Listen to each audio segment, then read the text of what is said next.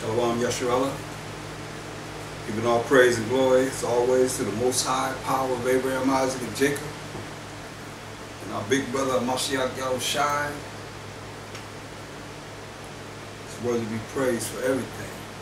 Hallelujah to his glorious and holy name. As always, we'll start off with Colossians 3 and 17. And whatsoever you do in word and deed, do all by Hashem Mashiach Yahawashi, giving thanks to the Most High and the Father Hashem, Mashiach Kedoshah, that's why we give thanks to the Most High for everything. We worthy to be praised for everything. And everything that we say and do is going to be in the name of the Lord and Savior, Mashiach, Yahawashi, the world called Jesus Christ. So we're going to look into a lot of scriptures here tonight. Go to Isaiah 14 and 18. We're going to roll in the spirit. Isaiah 14 and 18. Isaiah 14 and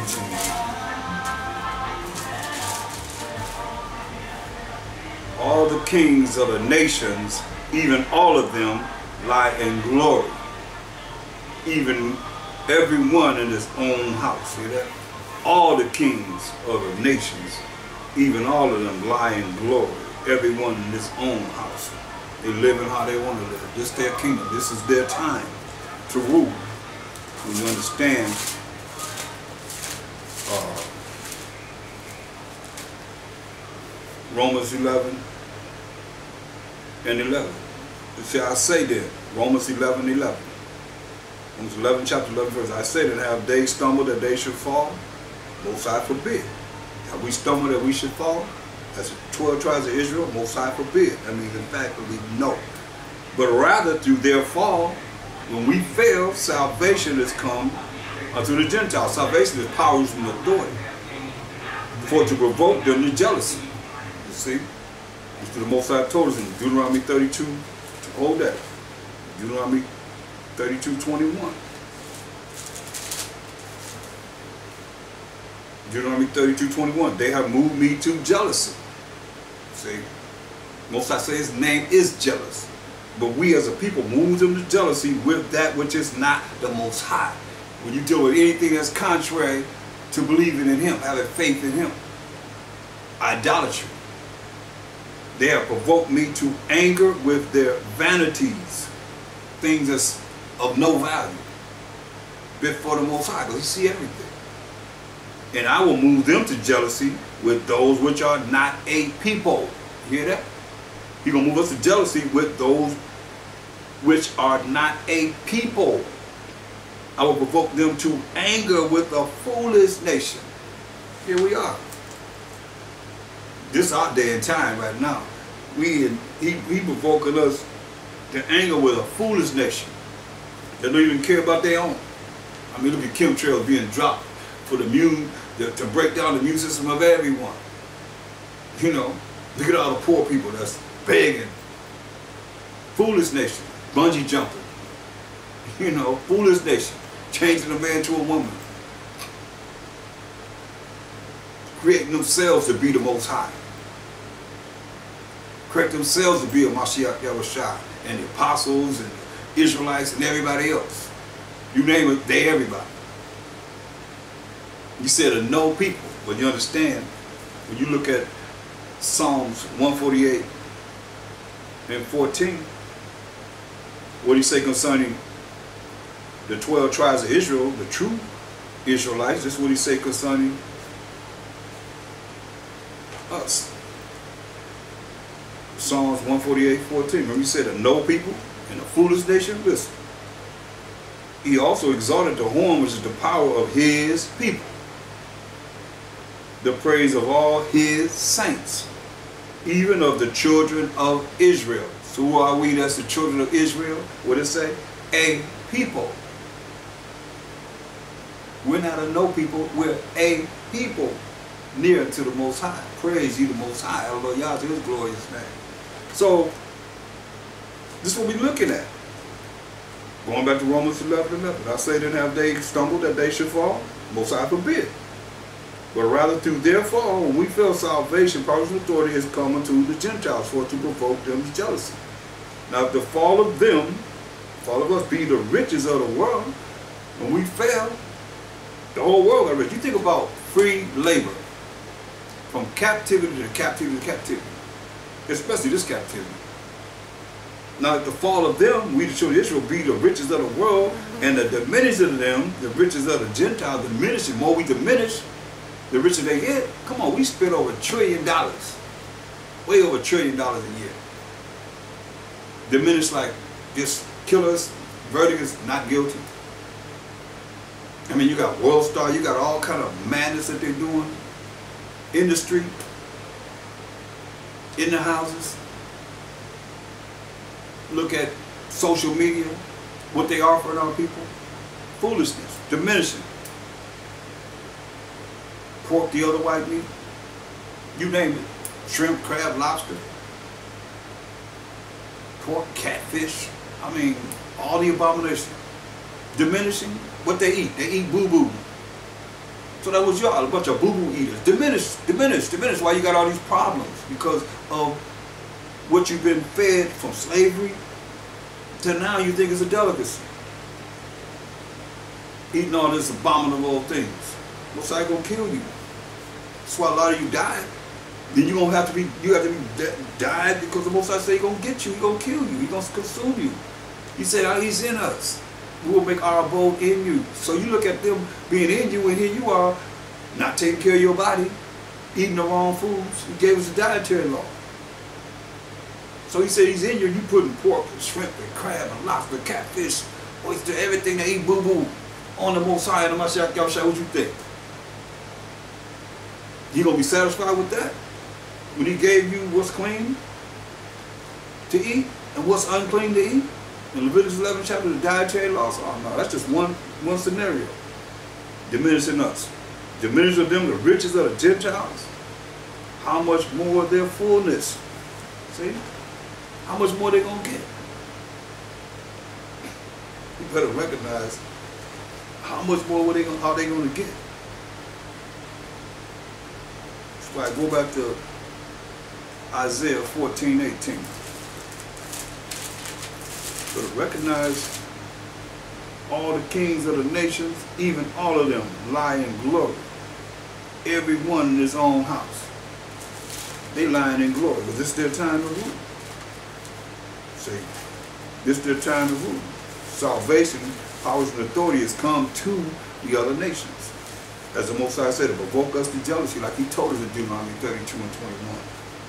And here we are, all up in it living it. Isaiah 5 and 13. That's why it's time for our people to wake up. Isaiah 5, 13. Therefore my people, who are the 12 tribes of Israel, are gone into captivity. They gone into captivity why? Because they have no knowledge. They have no knowledge. Proverbs 1 and 7. They have no knowledge. That's why we our minds are in captivity because we have no knowledge. This is what the Most High said. Proverbs 1 and 7. Hear the word of the Most High. Praise Him. The fear of the Most High, the fear of the Most High is the beginning of knowledge. The fear of the Most High, to be afraid of the Most High, to be scared of the Most High, is the beginning of knowledge because you're going to do what He say do. But fools, listen, but fools despise wisdom. That's the proper application of knowledge. How to apply this knowledge that you have gotten from going over these lessons, these, these, these. Uh, I mean, it's, it's a book of life. Everything you want to know is here. If you care about your salvation, you care about making it to the Mashiach Yahawashi's kingdom to learn of the Most High for a thousand years, or you're going to be cast into the lake of fire. Why he say fools despise wisdom and instruction. You got to be told what to do. That's a fool. You can't tell them what to do. You tell them what's right, and they going they gonna come up with their own way. And you see, many see, but if you don't see it, everybody else see it. Then you're a fool. Hosea four and six.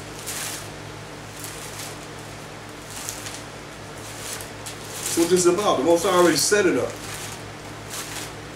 Whether you want to accept it or not. I accept it wholeheartedly. Hosea 4 and 6. My people are destroyed Said we destroyed. For what? For lack of knowledge. You don't fear the Most High. You taught, a lot of you coming out of church, taught you don't supposed to fear the Most High. You're supposed to be afraid of Him. You're supposed to be scared of Him. He said, I'm going to melt you. And you're not going to be afraid of Him. He's a consuming fire. When you see earthquakes, when you see tidal waves, you see volcano eruption, you see tornadoes, you see fire. And everything else that's disastrous in this world coming from the Most High. You think He can't stop it? He can't say, no, you can't go? He sends them forth. Those spirits right here on the earth, waiting on the commandment of the Most High. Praise the Most High. You better praise Him. If you ain't, you better learn how. For real, for real. He's worthy to be praised. The way say, my people, Hosea 4 6, are destroyed for lack of knowledge. See, they had you programmed. You want to keep some of us where you put it in a book because we don't like to read. And some of you still don't read. You just think you're going to come on here and get this lesson and you ain't open up yourself to study for yourself. It ain't going to happen like that. You're going to be one of them two-thirds crying and weeping and gnashing the teeth, Mashiach always talked about. He given us instructions. When we say a fool hate knowledge and instruction. You can't tell a fool to, instruct them in the right way that you can see the glory of the kingdom beyond your imagination. You can see right now this wicked place, wherever you are. It ain't righteous. What righteous places on this earth? Say the earth defiled of the habits thereof. Listen, my people are destroyed for lack of knowledge because thou hast rejected knowledge. Reject the fear of the Most High. I will also reject thee. So you gonna, he going to reject you. That thou shall be no priest to me. You ain't supposed to be teaching nobody nothing. According to this Bible. If you don't have the fear of the Most High. Respecting him. Seeing thou hast forgotten the law of thy power. So how is it that any preacher can stand up and say, I'm a preacher, I'm a pastor, and you saying that we ain't under the law the Most High. That's why I say you ain't gonna go say tell him you ain't can't you can't represent him. Seeing that you have forgotten the law of the Most High. He took all that time to give us moral laws, civil laws, dietary laws, ceremonial laws that we can follow right now to the best of our ability. And if not, repent. Ask the Most High to forgive you.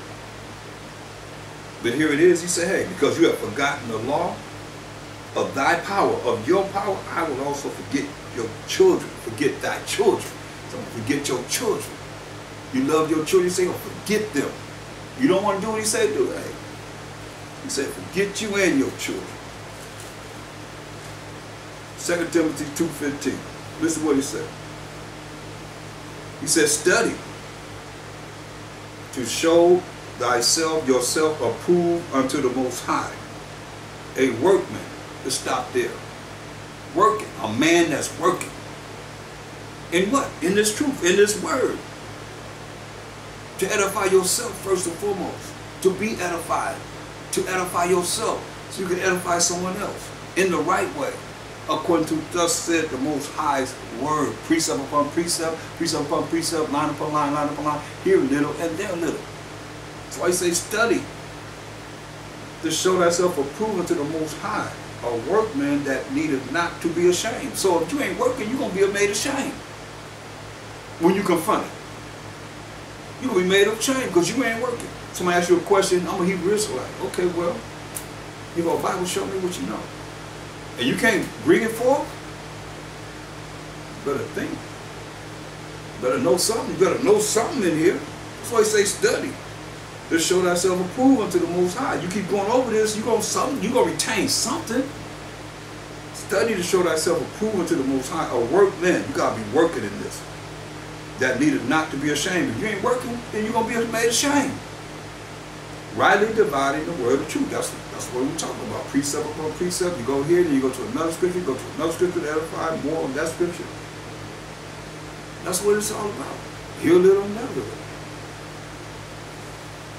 Go back to Isaiah 5 and 13.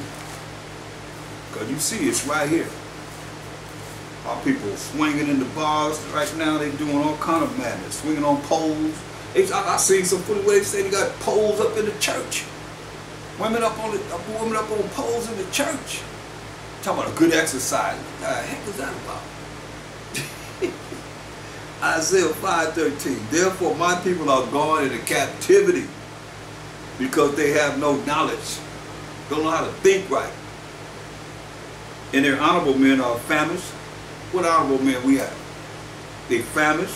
They ain't they doing nothing they're supposed to do. That's why I say you can't be no priest in them. Can't really represent the Most High.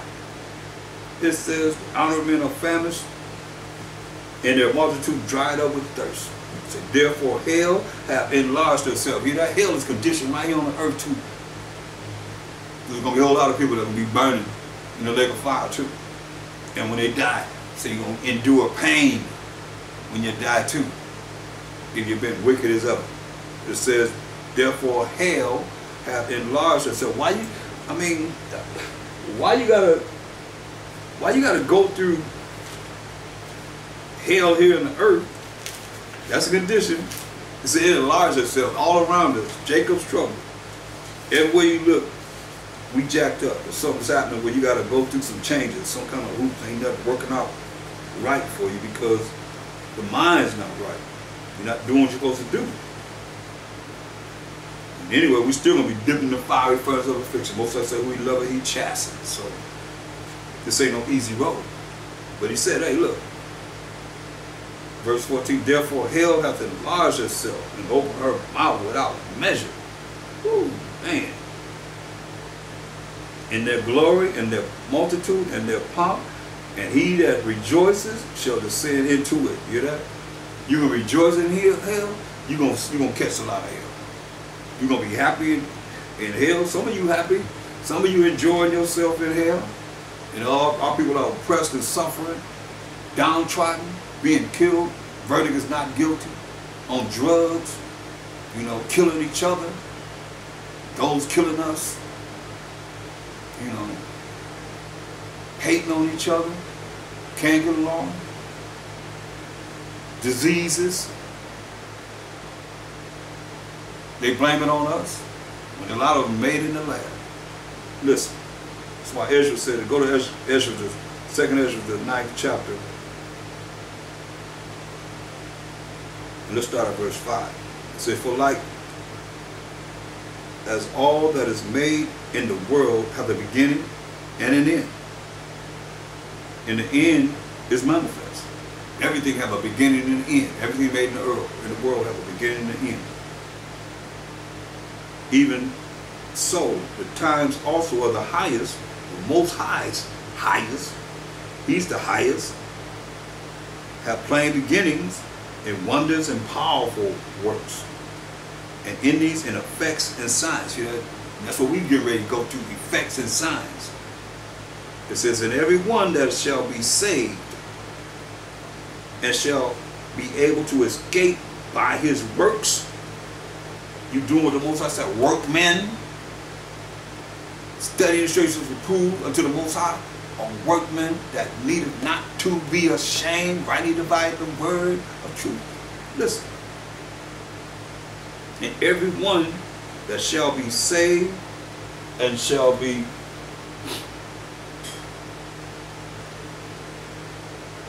and shall see, excuse me, my salvation in my land. So it says, hey, no, never mind. Verse 7 says, and every one that shall be saved and shall be able to escape by his works and by faith by you keeping the law, statutes, commandments of the Most High, and by your faith in the Mashiach Yahawashi going to the Most High on our behalf, to the glory of the Most High, whereby we have believed. So if you don't believe, you have no faith. So you got to believe in the Most High. You got to have faith in the Most High. Just a moment.